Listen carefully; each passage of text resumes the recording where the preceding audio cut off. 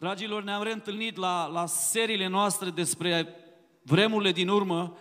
Nu predicăm asta pentru că e la modă, predicăm asta de mulți, mulți ani, ci pentru că Scriptura ne-o spune. Și Scriptura, prin gura Domnului Isus, prin gura apostolilor și prin gura ucenicilor apostolilor, ne avertizează și ne spune aveți grijă și vegheați, că în vremurile din urmă zilele vor fi grele. Vorbind despre vremurile din urmă, cuvântul de ordine al Domnului Isus și al apostolilor este înșelăciunea. Nu va fi mai mare înșelăciune decât în aceste vremuri. De asta spune avertismentul, aveți grijă să nu fiți înșelați. Întrebarea este cum putem și noi, creștinii, copiii lui Dumnezeu, fi înșelați. Spune Scriptura în Apocalipsa 12 cu 9, știm că suntem din Dumnezeu și că în 1 uh, Ioan 5 cu 19, că toată lumea zace în cel rău. Apocalipsa 12 cu 9 spune acolo, satana, acela care întreaga lume o va înșela, a fost aruncat pe pământ. Iată spune Scriptura în altă parte, prin gura Domnului Iisus, băgați de seamă să nu vă înșele cineva, fiindcă vor veni mulți în numele meu și vor zice, eu sunt Hristosul și vor înșela pe mulți. Se vor lua mulți proroci, mulți, vedeți, mulți, și vor înșela pe mulți. Și din pricina înmulțirii fără de legii, dragostea celor mai mulți se va răci, dar cine va răbda până la sfârșit va fi mântuit. Cu alte cuvinte, cine nu se va lăsa înșelat, cine va veghea la cararea lui, la viața lui. În Matei 24, de la 4 la 5, la 11, la 13 am citit și spune tot acolo Scriptura, atunci dacă vă va spune cineva, iată Hristosul este aici și acolo, să nu-L credeți, că se vor scula Hristoși mincinoși și proroși mincinoși, vor face semne mari și minuni până acolo încât să înșele dacă va fi cu putință chiar și pe cei aleși. Iată că v-am spus mai dinainte. Deci, dacă vor, vor zice, iată-l în pustie, să nu vă duceți acolo, iată-l în odăiți ascunse, să nu vă duceți acolo, să nu-i credeți. Wow! Ce avertismente serioase ne dă Domnul Isus Hristos. Oare le băgăm noi în seamă, le luăm în seamă?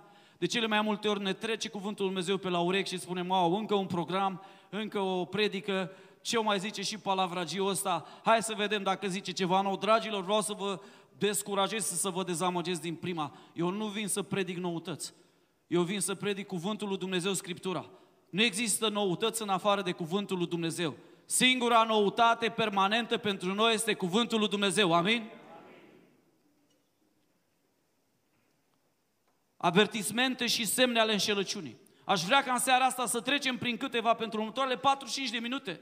Nu o să fie puțin, o să fie mult. De aceea puneți-vă centurile de siguranță. Fiți alerți în mintea voastră și primiți cuvântul lui Dumnezeu, pentru că vrem ca să lăsăm vocea păstorului cel bun să ne vorbească prin Scripturi. Probabil că multe le știți, dar e bine să ni le aducem aminte. V-am spus, nu o să vă spun nimic nou. O să vă spun decât ce este scris aici. În zona supranaturală este multă înșelăciune, tocmai pentru faptul că oamenii uită că și diavolul poate să facă minuni. Eu sunt întors la Dumnezeu de 31 de ani. Și înainte să mă întorc la Dumnezeu, dragii mei, am văzut semne și minuni. Am văzut vrăjitoare care vorbeau și lucrurile se întâmplau. Am văzut oameni care vorbeau cu morții și îmi spuneau că mortul le răspundea cu da sau nu. Am văzut oameni care cămau duhurile. Ceea ce vreau să vă spun este că oameni, chiar una din bunicele mele, da, ghicea în argint. Și mi-aduc odată aminte cum își pierduse verigheta și a ghicit în argint și în porum și diavolul, dracu, i-a spus prin Duhul de ghicire unde o pierduse și s-a dus și a găsit-o. Am văzut semne și minune înainte, am văzut și vindecări înainte. Dragilor, de asta este așa multă înșelăciune în zona supranaturală. De ce? Pentru că și diavolul poate să facă semne și minuni. Ce nu poate să facă diavolul, nu poate să trăiască după cuvântul lui Dumnezeu. De asta de multe ori tinde să credem că dacă cineva face semne și minuni, iată că omul acela vine de la Domnul. Spunea cineva, ai văzut ce prorocie o băgat ăsta? Asta e omul lui Dumnezeu. I-am spus, e sigur? E sigur? Asta e prima greșeală. Când zicem că dacă e supranatural, înseamnă că e de la Domnul. Și uităm că și diavolul face lucruri supranaturale. Oameni buni, eu știu oameni pe care diavolul i-a mutat cu tot cu pat, de aici, acolo. Și a intrat așa groaza și frica în ei încât au venit la biserică a doua zi să ceară ajutor de la păstor. Că n-au știut ce li se întâmplă. Când pui egal între supranatural și Dumnezeu, să nu uiți această, cum să spun, valență sau acest element. Și dracu poate să facă minuni. Sunt mulți oameni care cred că doar Dumnezeu deschide uși de prosperitate, dar vreau să spun ceva și dracu deschide uși de prosperitate ca să-ți fure sufletul. De aia spune Domnul Hristos într-un anume loc, degeaba îi folosește unui om să câștige dacă își va pierde sufletul. Spune Apostolul Pavel în 2 Corinteni 11, de la 13 la 15, oamenii aceștia sunt niște apostoli mincinoși, atenție, niște lucrători înșelători. Iată termenul înșelăciune, de, la ordinea de zi, da? Care se prefac în apostolul lui Hristos. Și nu-i de mirare, chiar dacă satana se preface într-un înger de lumină. Nu e mare lucru dacă și slujitorii lui se prefac în slujitori ai neprihănirii. Sfârșitul lor va fi după faptele lor. Ce spune Apostolul Pavel aici este că diavolul și îngerii lui și demonii lui și lucrătorii lui care sunt în chip de om. De multe ori oameni care sunt folosiți de satana se prefac în slujitori ai neprihănirii. Problema e că nu o trăiesc. Știu să o predice, dar nu o trăiesc. de avem schizofrenia asta spirituală. Una zic și alta fac. Că se vor scula Hristos și mincinoși, spunea Domnul Hristos, și proroși mincinoși. Vor face semne mari și minuni până acolo încât să înșele dacă va fi cu putință chiar și pe cei aleși. De multe ori știi, apar oameni în viața ta și în viața mea care par îngeri. Vorbesc atât de bine, au cuvintele la ei. Unii știu și scripturile. Dacă când încep să te uiți în profunzime, încep să simți în tine o alertă. Măi, ceva cu omul ăsta, dar nu pot să pun punctul pe ei arată bine, e îmbrăcat bine, vorbește bine, are statut social, are statut financiar, are nume, dar ceva este cu el și am niște stegulețe. Aș vrea să cred povestea lui, dar ceva în lăuntru meu îmi spune, ai grijă. Aduți aminte de Simon vrăjitorul. În cetate era un om pe, pe numele Simon, care practica vrăjitoria, spune în Faptele Apostolilor, capitolul 8, de la 9 la 11. Și uimea poporul Samariei, predintând pretinzând că ar fi cineva important. Și toți îl ascultau cu atenție de la cel mai mic până la cel mai mare și spuneau, el este puterea lui Dumnezeu cea numită mare. Iată înșelăciunea. Ei luau aminte la el pentru că de mult timp îi pusese în uimire cu vrăjitorile lui. Mi-aduc aminte la șase ani când mama m-a dus la o vrăjitoare, eram cu bunica și mama mea în sat acolo și vrăjitoarea, cum am intrat, a spus, anul ăsta îți vei pierde tata, un cumnat și un nepot. A intrat frica în mine. Nici nu știam cine e femeia asta. Eu știam că suntem oameni credincioși, fusese în zi înainte la biserică. Pe bunica mea o chema Paraschiva, ce căutam la vrăjitoarea asta nu știam. Dar vezi tu, în natura omului de a vrea să știe viitorul. Și cu asta se ocupă ghicitoria. Îți spune dacă vei fi boac sau sărac, te căsătorești cu brunetă sau blondă, de ajunge acolo sau acolo.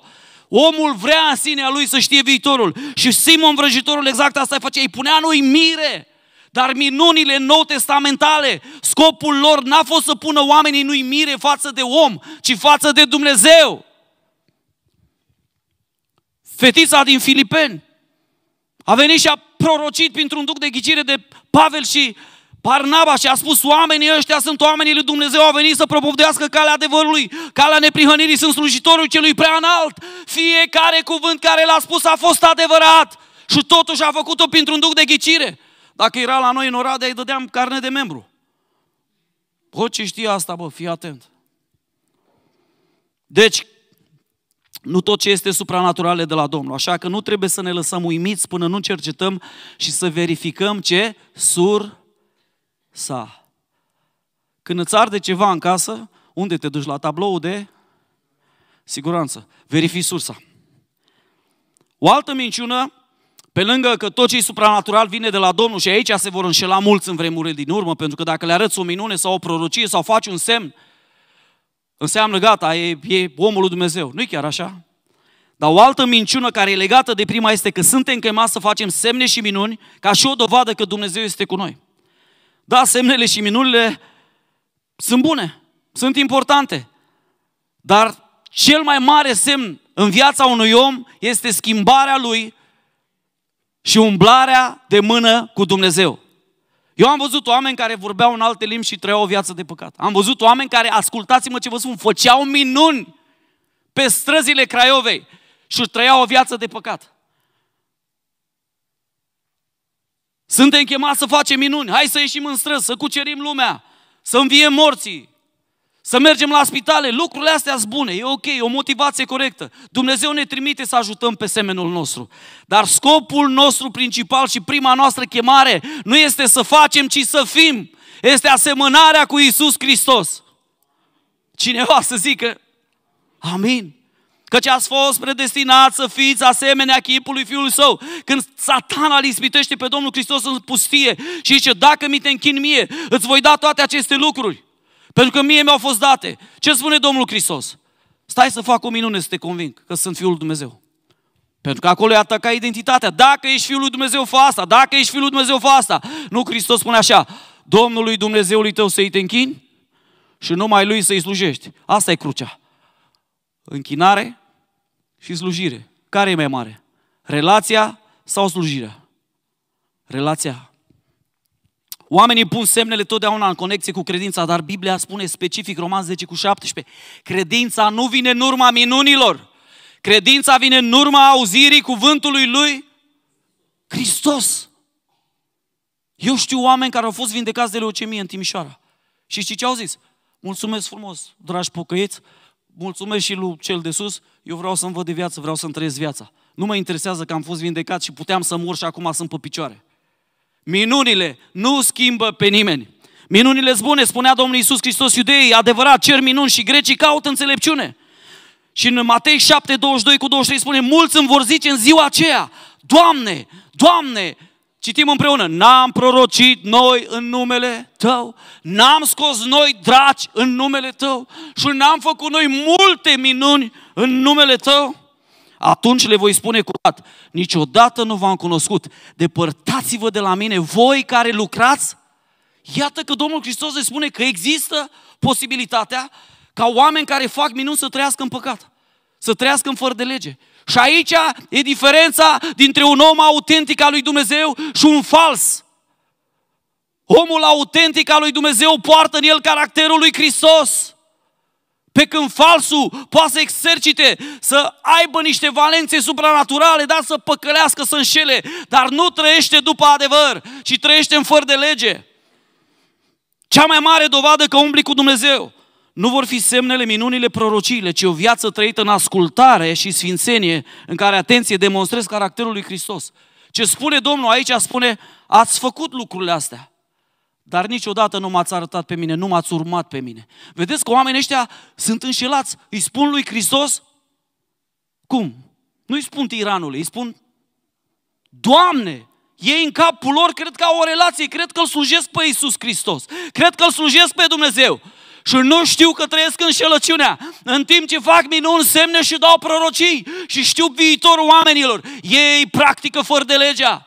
De asta spune cartea Ioan. Cine spune că îl cunoaște pe Dumnezeu și practică fără de legea, e un mincinos, e un înșelat. Pentru că noi, când ne întoarcem la Domnul Isus Hristos și mărturisim în apa botezului credința noastră, noi suntem chemați nu doar să-L mărturisim, ci să-L urmăm și să umblăm cu El în fiecare zi. Până la urmă, niciunde în Biblie nu se spune că dacă nu facem minuni și semne, nu mergem în cer. Dar spune Scriptura că dacă nu vom împlini voia Tatălui și dacă nu credem în jertfa Domnului Hristos, cu siguranță nu vom merge în cer.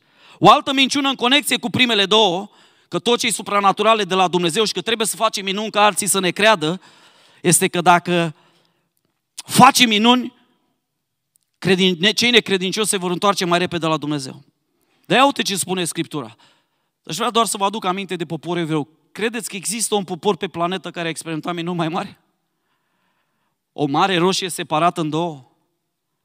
Mană din cer pentru 40 de ani? Încălțămintea nu li s-a uzat 40 de ani și hainele pe ei? Credeți că a existat un popor pe planetă care a experimentat într-o atâta cantitate de timp de mică, atâtea de multe minuni? Eu cred că nu. Și totuși, după toate minunile care le-au făcut, trei zile mai târziu, pun mâna pe pietre și vor să-l omoare pe Moise. Ce dovedește asta? Că minunile nu schimbă pe om. Impresionează, dar nu-l schimbă. Luca 16, de la 27 la 31, bogatul a zis, știți povestea cu Lazar și bogatul, Lazar e dus în sânul lui Avram, bogatul e dus în iad, rogu-te dar, părinte Avrame, să trimiți pe Lazar în casa tatălui meu, căci am cinci frați, și să le adeverească aceste lucruri, ca să nu vină și ei în acest loc de chin. Avram a răspuns, sau pe Moise și, adică Scriptura Vechiului Testament. Să asculte de ei. Nu părinte Avram a zis el, ci dacă se va duce la ei cineva din mort, se vor pocă. Și Avram ne-a răspuns, dacă nu ascultă de pe Moise și proroci, adică Vechiul Testament, care era atunci valabil, da? În vigoare, nu vor crede nici dacă ar învia cineva din morți. Cu alte cuvinte, dacă credința lor nu e bazată pe cuvântul lui Dumnezeu, așa cum cere Scriptura, degeaba pot să vadă minuni învieri din morți, nu vor crede oamenilor. Dragii mei, dragă biserică, Biblia spune că în momentul în care Iisus Hristos a fost răstignit, a murit și a înviat, morții au înviat și au mers în Ierusalim și lumea n-a crezut. Lumea și-au văzut rudele și-au văzut unchii și oamenii n-au putut să creadă. Pentru că dacă credința ta e bazată pe lucruri supranaturale, da, pe minuni, nu va sta. Ea trebuie să fie bazată pe singurul argument și logica al Universului, Cuvântul lui Dumnezeu. Ăsta e garanția pentru noi a vieții veșnice. Pentru că ce promite Dumnezeu poate. Alții, o altă minciună, sunt o categorie de oameni care cred că dacă nu avem semne și minuni și prorocii, adică manifestare supranaturală, Dumnezeu nu-i prezent. Dar eu vreau să spun ceva. În primii ani de pocăință, am dat peste o grupare foarte liniștită. Când m-am dus la ei și le-am spus că vreau să vă semne și minuni, au venit cu un nou testament și mi l-au pus în mână și știți ce mi-au zis? Sani Tran, că dacă nu citești asta, dracu te ia. Și am înțeles perfect ce mi-a zis păstorul ăla. Și a zis, la noi aici nu vorbim de semne și minuni. Vrem ca mintea ta să intre cuvântul lui Dumnezeu și cuvântul lui Dumnezeu în mintea ta și tu să fii reformat după chipul și asemănarea lui Dumnezeu și când va îngădui Dumnezeu să facă semne și minuni prin tine, le va face El. Dar până atunci, cea mai mare minune la care trebuie să lucrezi tu este minunea lui Sani Trancă, să-l pui la dispoziția lui Dumnezeu. Și trei ani jumătate am stat numai în studii biblice, care mi-au prins foarte bine, care mi-au dat o traiectorie sănătoasă în credință. Slăvit să fie Domnul! Unii cred că dacă n-au minuni și dacă nu simt și dacă nu tremură și dacă nu simt, nu-L pe Dumnezeu, dar Biblia spune în Daniel 9 cu 23, când ai început tu să te rogi, a ieșit cuvântul și o vin să-ți-l vestesc, că tu ești prea iubit și scump, ia aminte, dar la cuvântul acesta și înțelege vedenia. Iată că noi, dragilor, nu-L căutăm pe Dumnezeu prin sentimente, nu-L căutăm pe Dumnezeu prin emoții, nu-L căutăm pe Dumnezeu dacă vedem sau simțim ceva, ci îl căutăm pe Dumnezeu prin credință. Și crede în cuvântul lui care spune, dacă doi sau trei se adună în numele meu și cheamă numele meu, eu voi fi prezent. Eu n-am nicio îndoială că Domnul Hristos e prezent aici, prin Duhul Lui. De asta eu nu mă chinui să cânt laude la adresa lui Dumnezeu să-L chem. Pentru că eu știu că El este atunci când e chemat. Eu îl laud pentru că El deja este. El e prezent și El lucrează, amin? Vezi tu, deși e Dumnezeul minunilor, și Biblia spune că noi gustăm din puterile viitoare. Întotdeauna trebuie să verificăm sursa, să nu fim naivi. Sunt tot felul de mișcări acum în România care promit putere, lucrări profetice, senzațional amestecat cu misticism, da? Declară că ei dețin puterea de vindecare. Dacă vii la noi, noi suntem apostolii lui Hristos, îți vom da ungere, vom pune mâna peste tine, te vei vindeca. Îs tot felul de mișcări. Trebuie să avem grijă. Pentru că și prorocii falși pot să facă minuni să pună în uimire pe alții. O minune care vine de la Dumnezeu întotdeauna slăvește pe Dumnezeu. Și știți ce întrebare am eu? De ce în Matei 8 cu 4 scrie așa, după ce Domnul Iisus a vindecat un om de lepră, el a spus, vezi să nu spui nimănui, du-te și te arată preotului și adu darul pe care l-a poruncit Moise ca mărturie pentru ei. Matei 9 cu 30. Așa că după ce a vindecat doi orbi, Iisus le-a poruncit zicând, vedeți să nu știe nimeni asta. De ce viața Domnului Iisus Hristos a fost o viață de anonimat, a ales anonimatul și noi când se întâmplă ceva chemăm toate televiziunile. De ce avem în noi nevoia asta de vizibilitate, să folosim media, să ieșim în față? Dragul meu, ăsta e spiritul lui Anticrist. El se autopromovează, e un spirit fals. Nu o să ai niciun impact, crede-mă, numai Hristos poate să cucerească lumea asta, nu tu. Porunca Domnului Hristos n-a fost să cuceriți lumea, a fost faceți ucenici. Amin. Vezi tu, Hristos spune, du-te și să nu mai spui la nimeni.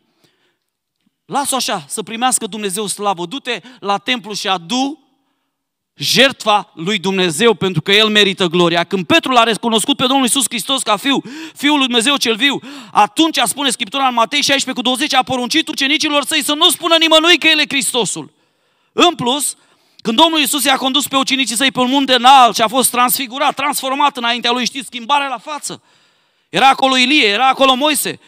Pe când coborau de pe munte, spune Scriptura în Matei 17 cu 9, să nu spuneți nimănui vedenia aceasta până când Fiul omului va învia din morți. Nu știu de unde dorința asta în noi astăzi, în biserica de astăzi. Să ne arătăm, să ieșim, să filmăm, să chemăm pe toți când facem un bine. Bă, mă vede, mă vezi? Acum scot banii, mă vezi? Acum hrănesc săracii, mă, bă, bătrânii. Acum facem proiectul cu, mă vedeți? Să-i toate camerele pe mine, bum, bam, bum. 1, 2, 3. Camera 1. Dragul meu, Hristos n-a avut de camere de la vedere. N-a avut nevoie de ele, n-a avut nevoie de YouTube, n-a avut nevoie de business. Da, se poate și fără YouTube, se poate și fără viuri. Pentru că atunci când faci ceva în ascuns, Dumnezeu îți va răsplăti în ascuns. Dar vezi tu, dărnicia trebuie făcută în ascuns, rugăciunea trebuie făcută în ascuns, postul trebuie făcut în ascuns. Noi acum am scos dărnicia și vrem să o facem ca să ne vadă toată lumea. Ei, Iisus Hristos iubea anonimatul și iubesc asta la Spiritul lui Iisus. Vreau să fiu ca El. Întreabă-te, cel care pretinde că e trimis de Domnul și vrea tot timpul publicitate, vrea tot timpul vizibilitate, de ce Duh e călăuzit? Pentru că la un moment dat Petru să supără pe niște oameni, da? Ă, ă, era Iacov și Ioan, iertați-mă, să supără pe niște oameni și spun Domnului Iisus, Doamne, vrei să chemăm foc din cer? Vrei să facem un show aici, cum a făcut Ilie? Să știe tot Israelul că suntem prezenți? Nu frații Domnului Isus îi spun, dar de ce stai aici? Du-te și arată-te oamenilor, ieși în templu să te vadă toți. Dacă ești Hristosul, fă un pic de publicitate, îți angajăm noi o firmă, îți angajăm, înțelegi, facem un pic cu IT-ul, cu, chemăm băieții, echipa, te promovăm un pic, sponsorizăm. Nu, Hristos nu lucrează cu lucrurile astea pentru că El știa cine este și nu are nevoie de publicitatea dracului. Amin. De asta când dracii îi spuneau, Iisuse, Fiul lui Dumnezeu, de ce vii să ne chinui? El îi oprea pentru că Iisus Hristos nu primește publicitate de la draci și de la lume. El știe cine este, era Fiul lui Dumnezeu și era de ajuns. Tatăl îi spusese, tu ești Fiul meu prea iubit. De asta întreabă-te, cei care pretind că sunt trimiși Domnului, au putere, au prorocii, au... Care este roada acelui om și lucrare, lucrării lui? Până la urmă, Domnul a zis că îi vom cunoaște după roade, nu? Întreabă-te care e roada, care e comportamentul, care e caracterul, care este rodul învățăturilor lor. Creează disensiune, creează dezbinări, creează... Vedeți că umblă acum multe doctrine din astea care se dau a fi creștine, că e ok să trăiești oricum în păcat, că e harul lui Dumnezeu, acoperă și ești mântuit. Dragii mei, nu este așa. Hai să citim Scriptura cum este, amin? și să lăsăm cuvântul lui Dumnezeu să fie standardul absolut al vieții noastre de credință. Pentru mine, Sani Trancă și familia mea, nu există Scriptura și tradiție, există Scriptura și atât. Sola Scriptura. Este standardul fundamental în ceea ce privește viața mea spirituală și relația cu Dumnezeu. După asta mă va judeca Dumnezeu. Întreabă-te, se vede roada Duhului în viața acestui om? Se vede sfințenia? Se vede stăpânirea în viața acestui om? Se văd roadele în familia lui, se văd roadele Duhului în lucrarea lui sau doar vorbește bine, are cuvintele la el, e și el un fals, dar când te uiți la roade, îți faci cruce. Domnul, vezi, tu vrea să rămână în anonimat în comparație cu acești făcători de minuni falși. Ăștia vreau să fie văzuți. Apostolul Pavel spune, atenție, aveți grijă la ei, caută folosul lor, încearcă să-i tragă pe ucenici de partea lor, nu de partea lui Hristos au o agendă personală. Vezi, tu adevăratele minuni întotdeauna îl pun în centru pe, pe Hristos. Și apoi conectate la aceste minciuni care vi le-am spus, mai este o minciună, mitul omului lui Dumnezeu înzestrat cu puteri speciale care vine el acum, în secolul nostru, pentru că biserica a ieșuat și iese el și face el lucrări mari de tot, și vine cu o ungere specială și pune el mâna, spunea cineva pe un canal de YouTube, n-ați simțit până acum puterea lui Dumnezeu, dacă mă veți căuta pe mine și mă voi ruga eu pentru voi, atunci veți simți cu adevărat puterea lui Dumnezeu. Serios? Crezi că l-ai omologat pe Hristos? Crezi că ai pus mâna pe piciorul lui Dumnezeu? Dragul meu, puterea lui Dumnezeu este în cuvântul lui. Cuvântul este viu și lucră Tor, Evanghelia și propovăduirea Evangheliei este puterea lui Dumnezeu care mântuiește. Puterea lui Dumnezeu nu rezidă într-un, sau nu locuiește într-un singur om pe pământul ăsta. Biblia spune, cunoaștem în parte.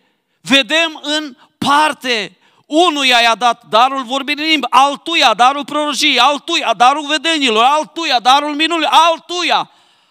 De ce Dumnezeu a distribuit în trupul lui și în mădularele lui ca niciunul să nu se îngânfe și fiecare să avem nevoie unul de altul. De asta când auzi oameni din ăștia speciali, bă, mergem la conferința aia, că își pune la mână, îmi spunea unul, zice, băi, mă duc acolo, când și-o pune mâna, e ca și printr-un fir din ăsta de cablu de, de internet, download, primesc ungere, zic, ai grijă ce primești. Că s-ar putea, după ce te duci acolo, să începi să ai anumite simptome și să nu fie de la Domnul. Anumite manifestări să nu fie de la Domnul. Și un tânăr mărturisea, zice, după ce am fost la conferință, nu mai pot să dorm noaptea. Nu mai pot, zice, a intrat o frică în mine teribilă. A intrat o frică în mine de, de, de, de, de întuneric, o frică de cel rău. Ceva s-a întâmplat cu mine de acolo. S-a rupt filmul de acolo. Zic, pe unde ai umblat pruncul meu? Păi m-am dus la cutare și cutare și o pus mâna pe mine. Nu lăsați pe oricine să pună mâna peste voi. Biblia spune clar, cheamă pe prezbiterii bisericii, pe acei oameni care s-au dovedit, pe acei oameni care trăiesc în mijlocul vostru, care sunt cercetați, evaluați, care au o viață, care le poți vedea viața. Nu vă duceți pe aici, pe acolo să-și pună nu știu cine mâna peste voi, că nu știi ce poți primi. Da, sunt mulți care cred că pot să transfere, ungerea e transferabilă, dar spune Scriptura în 1 Ioan 2 cu 27, că despre voi ungerea pe care ați primit-o de la El, de la Hristos, rămâne în voi. Ungerea nu o poți primi de la un om, dragul meu. Nu poate să vină un american sau un englez să-și pună mâna pe tine și astăzi te face apostol și proroc. Nu lucrează lucrurile așa în împărăție. În împărăție lucrurile iau timp. Sămânța este cuvântul lui Dumnezeu care odată plantat în mintea și în inima ta are nevoie să fie odată de rugăciune și de timp să crească. Amin? Iosua a stat sub Moise 39 de ani până când în sfârșit Moise și-a pus mâna peste el. 39 de ani. Și noi astăzi credem în creștinismul ăsta fast food. Vine unul și pune mâna și te-a făcut mare lucrător.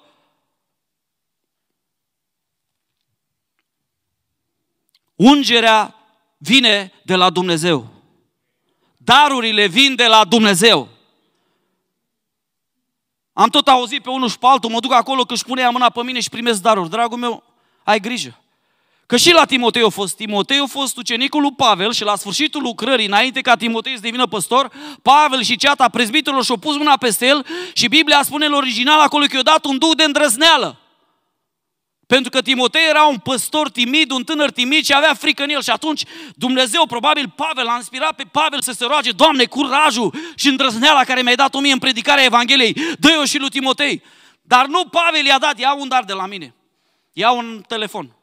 Dumnezeu dă daruri, Dumnezeu dă ungere, Dumnezeu dă putere. Amin. Încă o înșelăciune care am văzut în ultima vreme, crede și nu cerceta asta, vine și din ortodoxism. Eu ca unul care am fost ortodox, m-am născut ortodox, dar nu prea ortodox, eram păcătos, închinător la moaște și la oase, cu tot respectul pentru cei care cred, asta vă spun, este idolatrie și este un păcat înaintea lui Dumnezeu. Scriptura nu vorbește despre închinare la oase. Scriptura vorbește despre închinare la Dumnezeu. Nu avem voie să facem chip cioplit, icoane și așa mai departe. Dar eu credeam în lucrurile astea până într-o zi în care am văzut că nu mă schimbă cu absolut nimic, eram din ce în ce mai rău. Și mergeam pe principiu crede și nu cerceta. Dar când am citit Scripturile prima oară la 16 ani jumate, Noul Testament, atunci când păstorul l-am provocat, am văzut că Biblia spune, cercetați toate lucrurile și păstrați Testați duhurile, testați prorociile și o să vorbim imediat despre asta. Nu poți pur și simplu să crezi că tot ce zboară se mănâncă. Faptul că ai o experiență mistică sau spirituală nu înseamnă că e de la Dumnezeu. Și cei care merg la concerte de muzică seculară, wow, mi s-a ridicat părul pe mine, dragul meu, eu mergeam la fotbal. La șase ani jumătate eram în stadionul Universitatea Craiova, dus de tatăl meu, forțat acolo la meci de la 10 dimineața, începea meciul la 6, stăteam acolo și când începea meciul mi se ridica părul pe mâini. Era o emoție când 60 de mii de oameni strigau pentru echipa lor că, wow! Dar nu înseamnă că era Dumnezeu. O, frate, am fost acolo și când și-o pus mâna am căzut. Poate ți-o căzut calciu. Poate ai avut o cădere de calciu și atâta tot. Aveți grijă. Sunt mișcări și vreau să vă avertizez. Sunt mișcări în sfera creștină care sunt deja și umblă în înșelăciune. Oameni care nu stau sub autoritate, oameni care nu au o biserică, oameni care nu le cunoaște în viața, oameni care și-au făcut pe YouTube un blog rapid și au devenit viral peste noapte, dând în alții sau vorbind sau bârfind pe alții. Dragul meu, ai nu lucrarea lui Hristos. Hristos nu face așa ceva, Duhul lui Hristos nu face așa ceva. nu se autopromovează pe YouTube dând în altul să faci lucrare. Și încep să vorbești și să bârfești. Aia nu e ok, nu e de la Dumnezeu. Lucrarea lui Dumnezeu se face în ascuns și la vremea lui Dumnezeu te promovează. Scriptura spune, smeriți-vă, sumâna cea tare a lui Dumnezeu și la vremea potrivită El vă va... Cine hotărăște vremea potrivită tu? Dumnezeu hotărăște vremea potrivită. De asta nu merge pe principiu crede și nu cercetați. Spunea cineva, dar frate, dar mi-a prorocit. Acum ce să fac? Mi-a prorocit că mă însor cu Maricela. Ce să fac? Dacă Domnul zis n-am de ales, mie nu-mi place de ea, nici ei de mine, dar mi-a prorocit. Dragul meu, Biblia spune să testezi prorociile. Dar nu, mie mi-e frică că dacă testezi și de la Domnul, nu, să-ți fie frică că nu o testezi, că Dumnezeu în Scripturi îți poruncește să testezi prorocia și prorocul. Odată mi-aduc aminte că eram la o conferință și eram într-o geacă de motociclist, eu și cu un prieten de-al meu. Și a venit cineva la final la și a zis, oh, iată ce vorbește Domnul, voi doi veți lucra cu, cu harleiști. M-am uitat și am zis, dați-mi voie să vă spun, doamnă, că asta e o minciună de la Dumnezeu. Eu n-am chemarea să lucrez cu harleiști, ci pur și simplu e o geacă care mi-am găsit-o în târg, că atâția bani aveam și am luat-o Zic că nu o să lucrez niciodată cu motocicliști, nu cred că este chemarea mea, cred că doar v-ați uitat, uitat la noi și ați dat, ați vrut să dați bine la imagine că vreți să proced la Domnul și ați proced din îndrăzneală. Asta nu este de la Domnul. Și uite că au trecut de atunci vreo 20 de ani și n-am lucrat cu harleiștii. Sincer, mă deranjează harleiștii și aici în Oradea, nu pot să dorm din cauza lor. Și de fiecare dată când aud un harleist pe lângă blocul nostru și trec destul de des, zic, Doamne, trezește-i. Ajută-i să înțeleagă că viața pe două roți e semnătură pentru altceva. Dragul meu, Biblia te cheamă să testați, spune Scriptura prea iubiților să nu credeți orice duh, ci testați duhurile dacă sunt de la Dumnezeu, pentru că în lume au ieșit mulți profeți falși. Prin aceasta să cunoașteți Duhul lui Dumnezeu. Orice duh care mărturisește că Isus Hristos a venit în trup, este de la Dumnezeu. Iar orice duh care nu-L mărturisește pe Hristos Isus nu este de la Dumnezeu, ci este al Anticristului, de care ați auzit că vine în lume. Eu vreau să te întreb, tu crezi că aici Ioan când vorbește de mărturisirea numelui lui Isus Hristos, vorbește doar că spui cu gura ta Iisus Hristos e Domnul? Și ăla care e la bar trage o dușcă și zice Iisus Hristos e Domnul. Aici vorbește de întruparea cuvântului în viața ta și o trăire după cuvântul lui Dumnezeu și când oamenii îl văd în viața ta, în trupul tău pe Hristos, ăla, așa îl mărturisești pe Hristos, amin? Nu că zici cu gura, cu gura e ușor. De câte ori n-ai zis, îmi pare rău, nu o să mai fac și ai făcut a doua zi. Îmi pare rău, nu o să mai vorbesc cu tine, îmi pare rău, nu o să mai zic aia, îmi pare rău, nu o să mai zic aia. Vezi tu, dacă ai identificat una din aceste învățături, înseamnă că ai fost înșelat. Supranaturalul egal Dumnezeu. Minciună. Dumnezeu, da, lucrează prin semne și minuni, dar semnele și minunile de la Dumnezeu întotdeauna vin în, în, în, în uh, tandem sau în dublarea predicării cuvântului lui Dumnezeu. Amin? Când cineva începe cu semne și minuni, sau centrul lucrării lui sunt semnele și minunile, vindecările, prorociile, vorbirile în limbi, ai grijă. Antenele sus.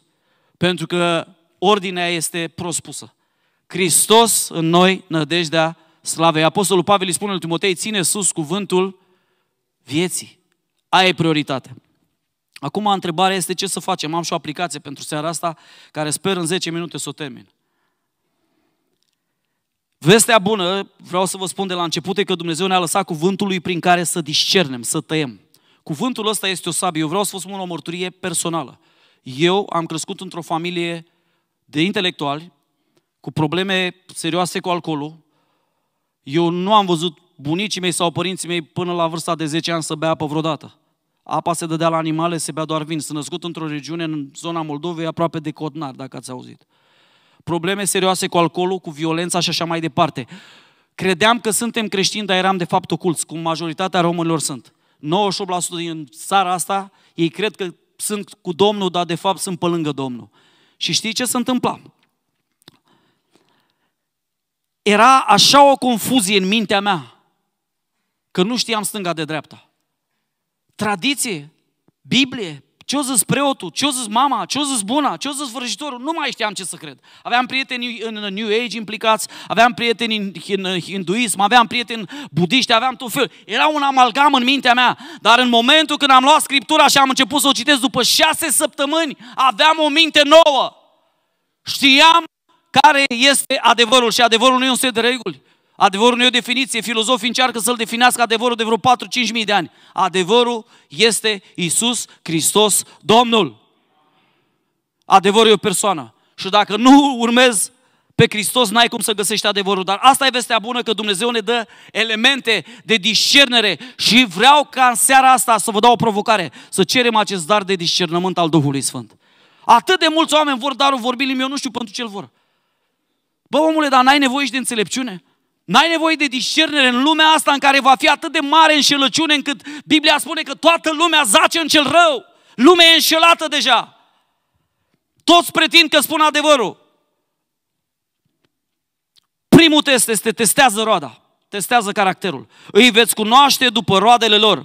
Spunea Domnul Hristos în Matei 7, de la 16 la 19, culeg oamenii struguri din spin sau smochine din mărăcini, tot așa orice pom bun face roade, dar pomul rău face roade rele. Degeaba îmi spui teorii. Vă spuneam că acum câteva săptămâni un tânăr de vreo 165 de kg încerca să-mi predice patru diete de slăbit. Și după vreo 3, 4, 5 de m-am scuturat de cap și a zis, mă omule, ia vină cu vină puțin lângă mine, hai să ne uităm în geamul ăsta, era o ușă cu un geam. Uite-te puțin cum arăt eu și cum arăt tu, iartă-mă, n-am nimic cu oamenii mai plini. Dar băi, cât de înșelat să fii să-mi predici mie, cum să slăbesc. Ceva tu faci greșit și eu fac bine. Dar, dar ce dietă folosești tu? Zic, aleluia. Păi dieta postului, rugăciunii și stăpânirii de sine. Cum adică voi după șase nu mâncați? Încercăm. Dragul meu, poți să te înșeli, să predici ceva și să nu trăiești și Dumnezeu zice că ești un lucrător ar fără de legii. Dacă tu predici iubirea față de partenerul de viață și tu îl înșeli și tu vorbești urât cu el și tu jignești și copilul tău spune, tata, iar vorbești cu mama urât. Copilul tău vede roada în tine. Trebuie să spui întrebări, măi, de unde a ieșit roada asta? Îmi spunea cineva, bă, frate Sani, sunt pocăit de vreo 5-6 ani, bă, dar nu știu de unde a ieșit monstrul ăsta din mine, mă. Și s-a ajuns la aruncat cu farfurii. Și zic eu, frate, ne rugăm pentru sora. Zice, nu, nu, nu, baiul la mine, eu le arunc. De unde a ieșit monstru? Era acolo. Firea pământească lucrează. Îi veți cunoaște după roadele lor, atenție, personalitatea nu e roadă.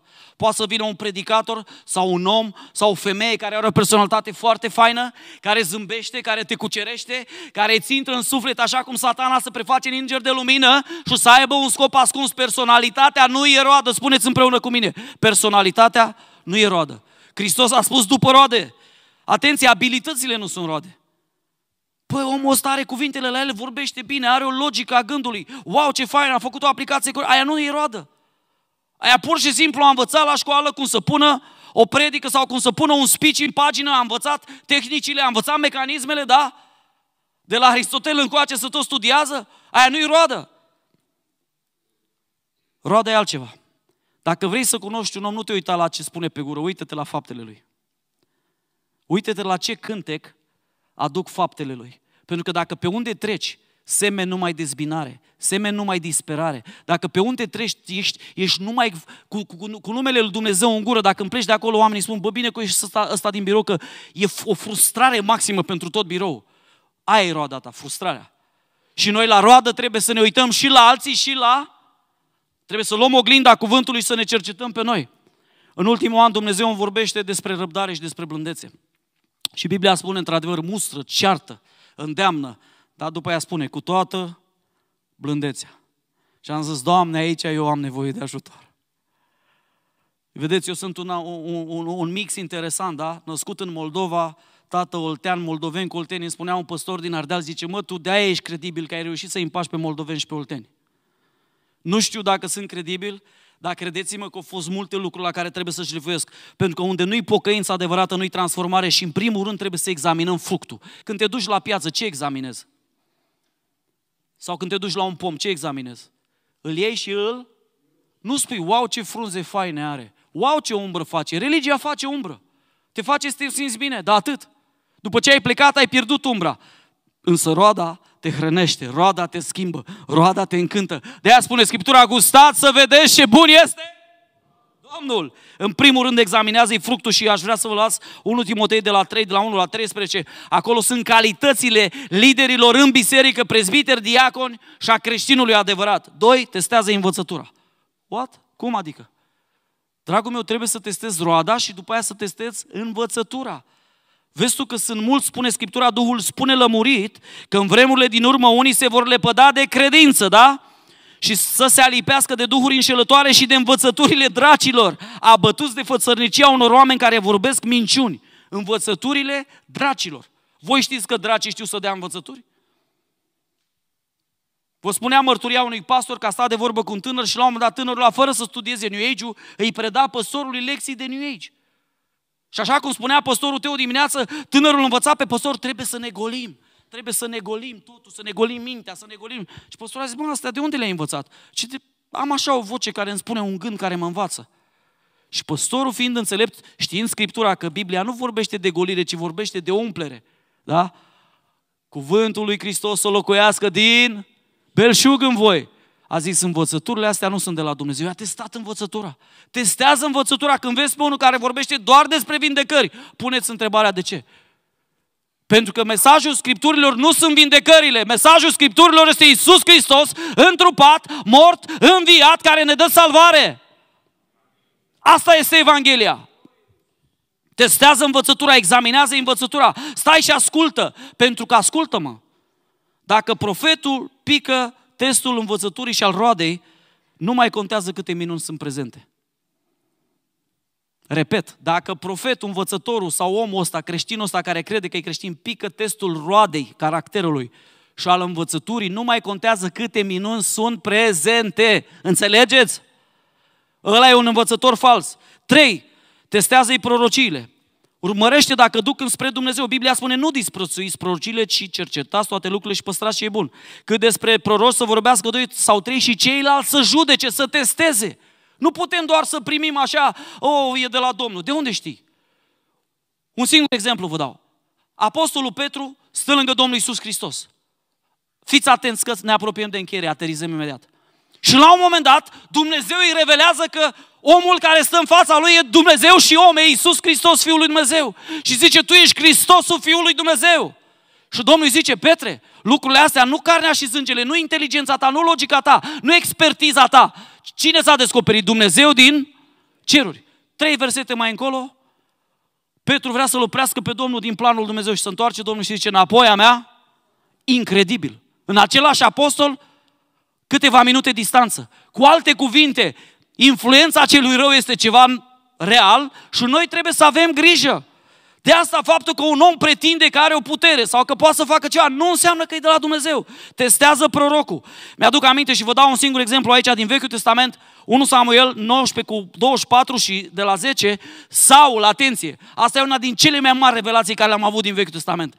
Se apropie de o ceată de proroci, intră sub bunda lor, sub semnalul lor, dacă la telefoane, și începe ăsta să prorocească. Și oamenii șocați.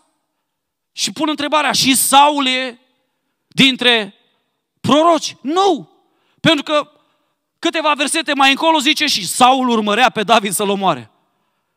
El doar a intrat sub puterea Duhului Sfânt și a început să prorocească. Îmi spunea odată cineva, zice, de câte ori călătoresc cu pastorul ăsta prorocesc? Wow, m-am gândit, hm, interesant. Poate și ăsta e un Saul stă pe lângă păstor, că știe că ăsta are un dar adevărat, autentic, să fie și el luat în seamă. Dacă el doar când stă cu ăsta și umblă cu ăsta și călătorește cu ăsta procește, e o problemă. A intrat sub bund, a intrat sub semnal. Și Saule dintre proroci? Nu. Și spune cartea de Deuteronom, în 13 și capitolul 19, dacă o prorocul primește o prorocie și se împlinește, dar îți îndreaptă inima spre alți Dumnezei, nu este de la Domnul. Testează, te rog frumos, prorociile. Testează roada, testează învățătura, testează prorocia. Acum, ultimul, penultimul este testează duhurile. Domnul Hristos spune, nu știți de ce duh sunteți însuflețiți. Prea iubiților, să nu credeți orice duh, ci testați duhurile dacă sunt de, de la Dumnezeu. Testați duhurile. Uite, eu vreau să mă rog în seara asta, vă spun sincer, eu am nevoie de darul de discernământ. De ce? Pentru că atunci când Dumnezeu îți dă darul de discernământ, tu poți să vezi în lumea spirituală lucruri care cu ochii fizici nu poți să vezi. Corect? Spre exemplu, poți să știi când ai darul de discernământ când vorbește Duhul Sfânt cu tine. Duhul Sfânt i-a spus lui Petru, vezi că te caută câțiva oameni, du-te cu ei pentru că eu i-am trimis. Petru avea darul de discernământ. A știut că era Duhul Sfânt cel care îi vorbea. Când ai darul de discernământ, poți să discerni Duhul omului. Domnul Hristos a uitat la Natanel și a spus, iată un israelit în care nu este viclenie. A, ți-ar place să ai așa un dar de discernământ, să stai cu un om de vorbă și să știi exact ce duh are cel călăuzește? Să știi, bă, că ăsta pot să fac afaceri, nu o să-mi dea țeapă. Știi de ce stă atâtea de multe țepe în afaceri? Mai ales în sfera noastră. Pentru că oamenii n-au darul de discernământ. Îți mulți vrăjitori și vânzători în sfera pocăiților, că s-au trezit mult și au zis, bă, și asta e o platformă bună, hai să mergem. Hai să facem marketing și business. Business-ul e bun, dar fă cinstit. Și mă rog ca Domnul să-ți dea darul de discernământ, să ai discernământ. Amin? Iarăși, dacă ai darul de discernământ, poți să discerni între îngerii Domnului și îngerii căzuți. Aduți aminte de Pavel pe corabie. La un moment dat spune, oamenilor, stați liniștiți, căci un înger al Domnului Misa ară. Dar de unde a știut Pavel că e îngerul Domnului? A avut darul de discernământ. Dacă ai darul de discernământ, nu în ultimul rând știi dacă e diavolul sau e omul acolo. Petru se uită la Anania și Safira și spune, cum v-a pus satana în gând acest lucru să-l faceți? Petru a știut că lucrarea este de la cel rău. Vreți darul Duhului Sfânt de discernământ în Corinteni 12? Eu sincer îl vreau. Eu vorbesc în alte limbi de 31 de ani și sincer, e un dar minunat. Dar credeți-mă, darul de înțelepciune și de discernământ eu cred că e peste. Pentru că e spre folosul nu numai al meu, ci al și altor. Amin? Nu în ultimul rând, vrem să testăm manifestările, dragii mei, și aici termin, aterizez. E și 34 de minute. Mi-aduc aminte și stăteam, mă gândeam, Doamne, cum să transmit cuvântul ăsta de testare a manifestărilor, să, să nu înțelegeți că am ceva cu cineva, pentru că chiar am. Chiar am am probleme cu oamenii care manifestă anumite manifestări și care spun că e de la Duhul Sfânt și de la Dumnezeu și înșeală pe mulți și nu sunt. Și mi-am adus aminte, Domnul mi-a pus în minte Marcu, capitolul 9, băiețelul acela care îl trântea Duhul când în apă, când în foc. Și spune Domnul Iisus Hristos, vine și face acolo un inquiry, face un test, face un interogatoriu și spune tatăl, Oriunde la apuc îl trântește la pământ. Copilul face spumă la gură, scrâșnește din dinți, rămâne țeapăn. M-am rugat de ucenicii tăi să scoată Duhul și n-au putut. O neam necredincios, spune Domnul Hristos. Până când voi fi cu voi, până când vă voi suferi, aduceți-l la mine. L-au adus la el și cum a văzut copilul pe Iisus, atenție, Duhul a scuturat cu putere. Vedeți că au apărut, cum v-am spus, în mișcări de vreo 10-15 ani prin România, care promovează foarte mult manifestările fizice aveți grijă. Când te scutură cu putere și dă cu tine de pământ, s-ar putea să fie altceva acolo. L-a scuturat cu putere. Copilul a căzut la pământ și se zvârcolea făcând spume la gură. Iisus a întrebat pe tatălui câtă vreme este de când îi vine așa. Vezi, Domnul Iisus Hristos ca un terapeut, punea întrebări, da? Făcea școală cu ucenicii, vrea să învețe, punea întrebările. Din copilărie a răspuns el și de multe ori Duhul l-a aruncat când în foc, când în apă, ca să îl o moare. Dar dacă poți face ceva, fie milă de noi și ajută-ne. Iisus a răspuns, tu zici dacă poți? Toate lucrurile sunt cu putință celui ce crede. Dragule, am văzut multe manifestări de-a lungul vieții mele. Eu sunt unul care am trecut prin acele manifestări oribile când am venit prima oară și am călcat într-o biserică neoprotestantă M-au luat două bătrânele de mână și m-au dus în față și sincer să fiu am mers doar din respect. Și când a pus păstorul la mâna pe mine și a început să se roage, am simțit un cutremurat și am început să mă zvârcolesc, să, să, să am convulsii și am știut că ceva nu e în regulă cu mine. Și l-am luat de mână și am spus, I, I need your help, era american. Zic, cred că am probleme. Zice el, zice, știu, dar eu știu soluția, sunt aici să te ajut. Dumnezeu m-a trimis special ca să te elibereze, pentru că te iubește foarte mult. Și zic, știu, dar eu nu vreau să fac show. Zice, stai liniștit că nu o să fie niciun show. O să iasă așa, lanțurile o să cadă așa și o să fie eliberat pentru că Dumnezeu te iubește. Și așa stând pe picioare am simțit o ușurare, un cutremur și un curent care a trecut din cap până în picioare, în mine. Am fost eliberat și deodată, deodată, deodată am cerut apă.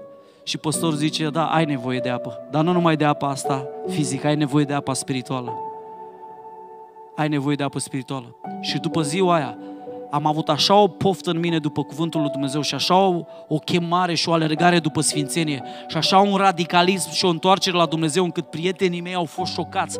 Eu știu oameni și Dan poate să confirme care au zis dacă ăsta s-a pocăit, eu nu mai are rost să fiu golan. Eu predau astăzi armele și a lăsat sabia și buzduganul Că așa era reclama Craiovei, săbii și topoare. Și a devenit copilul lui Dumnezeu. Dragul meu, pe mulți vrea să ne înșele ce rău și avem nevoie de acest dar de discernere. Avem mare, mare nevoie. Pentru că Biblia spune și ultimul verset care îl citesc în această seară, 1 Corinteni 10, 12 cu 13. Astfel, dar, ne ridicăm și citim împreună. 1 Corinteni 10, de la 12 la 13. Astfel, dar, cine crede că stă în picioare, să ia seama să nu cadă. Nu va ajuns nicio ispită care să nu fi fost potrivită cu puterea omenească.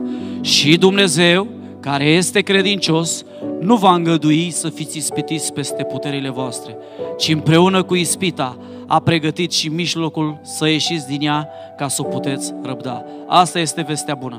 Dacă ai fost înșelat, dacă ai fost atras de lucrurile astea senzaționale, supranaturale, știi ce? Întoarce-te la cuvântul curat al lui Dumnezeu. Pentru că nu e cum oară mai mare pe pământul ăsta. Minunile vor trece, semnele vor trece, prorociile se vor sfârși.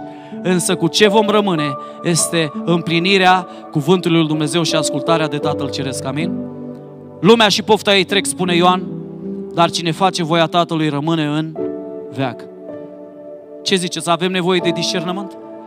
Darul de discernământ face diferența între rău și bine, între duhuri demonice și Duhul Sfânt, între îngerii celui rău și îngerii lui Dumnezeu, între Duhului Anticrist și Duhul lui Hristos.